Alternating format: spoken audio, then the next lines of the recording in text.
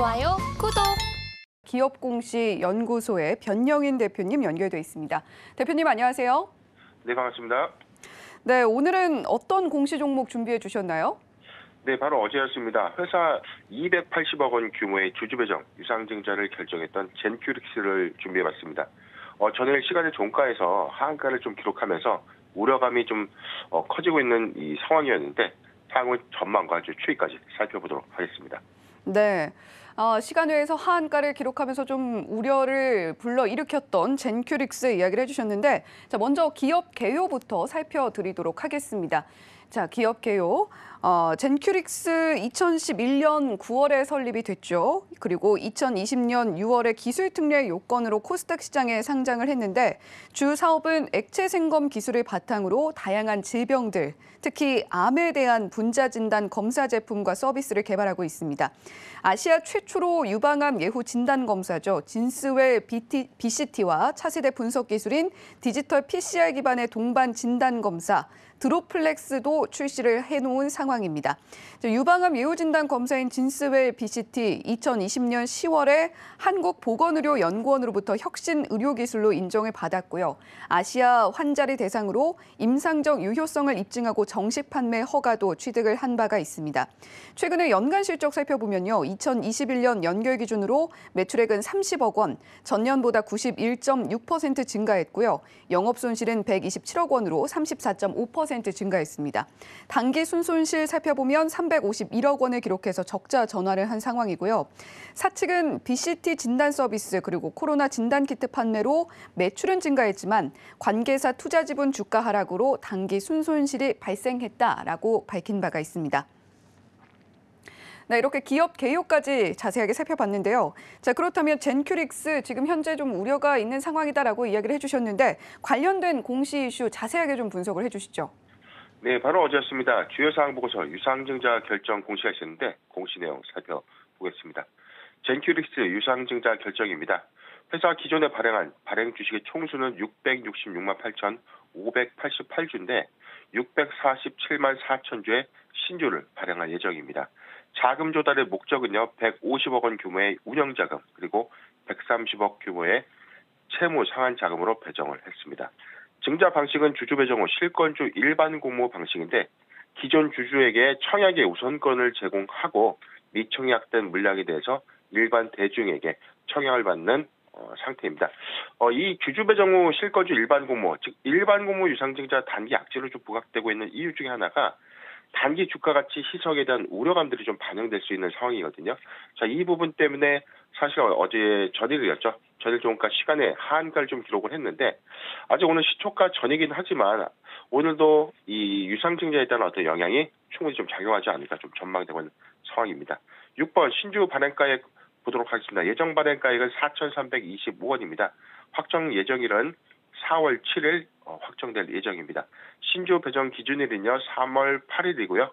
어, 구주 청약일 4월 12일부터 4월 13일 양일간인데 아직 확정된 예정 발행가액, 즉 증권신고세 수리 일정에 따른 변동이 있을 수 있기 때문에 청약 예정일과 납입일은 변동될 수 있는 공시입니다. 어, 관련 공시 자세하게 분석을 해주셨습니다. 해당 종목의 최근 실적 그리고 사업 모멘텀에 대해서도 짚어주신다면 어떤 체크 포인트들이 있을까요? 네, 일단 우선 뭐 주주배정 유상증자 결정에 따라서 주주배정 유상증자 자체가 좀 악재냐, 악재 영향이 좀 미비할 것인가. 자, 이 부분인데 단기 주가 가치의 어떤 시성 요인, 발행 주식 수의 거의 뭐 100%에 육박한 주식이 신주가 만약에 유통된다는 어떤 가정하에서 주가 가치의 희석 요인이 작용할 수 있다. 이런 관점이 선반영되었기 때문에 우려감으로 좀 작용할 수 있다는 것입니다. 최근 실적 추이를 좀 보면 어, 이 회사 어, 기술 특례 상장 이후에 사실상 이렇다 할 어떤 가시화된 실적을 보여주지 못하고 있었습니다.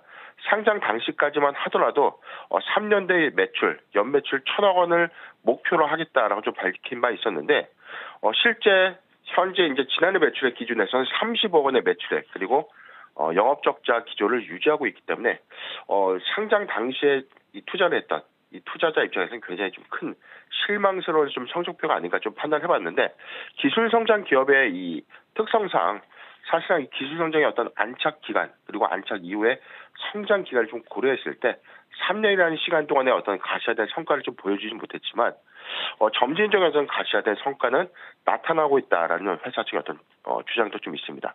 회사 최근에 이 병원 30곳에서 진술 BCT 600개로 시판 후 연구를 좀 진행해 왔는데요.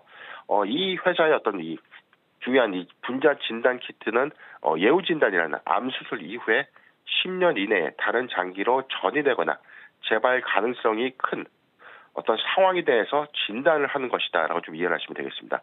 대장암을 조기에 진단하는 기기도 현재 개발 중에 있는데 2022, 2024년 상반기 식약처의 승인을 받는 것이 목표다라고 밝힌 바 있었습니다.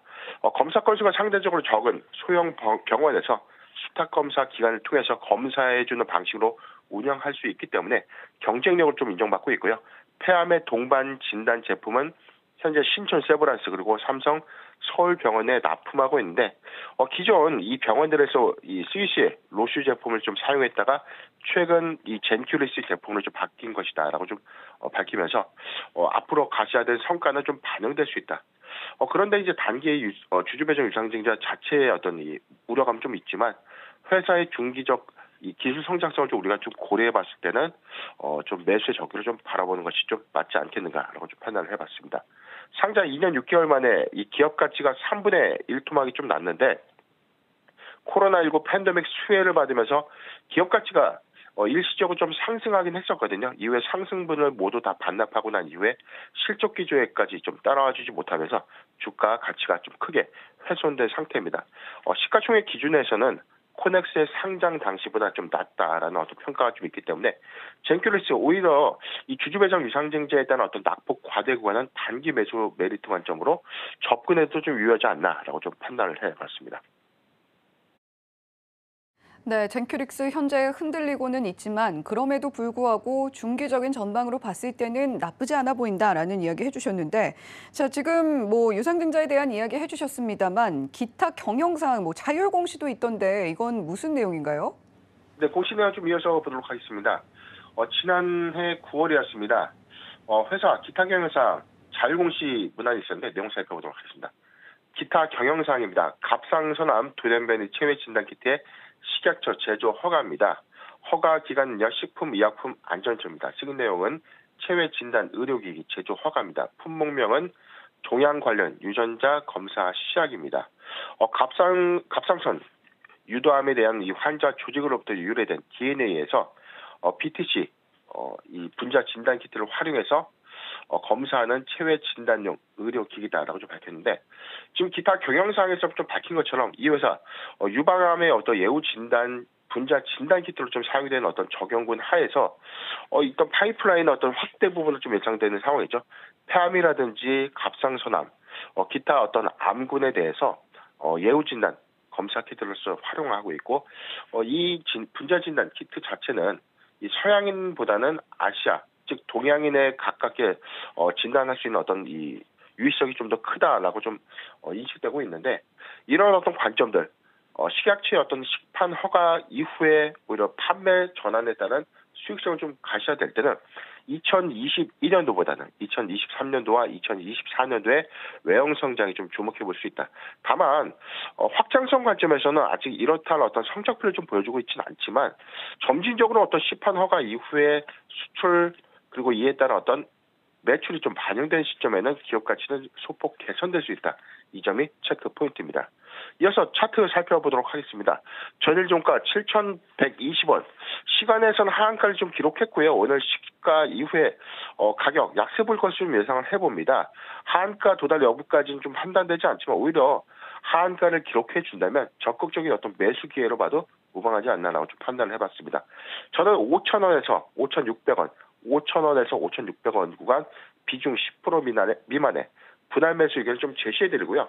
주주배정 유상증자 단기 악재로 부각된 것은 맞는데 젠큐리스 현재 현재의 낮은 시가총액입니다.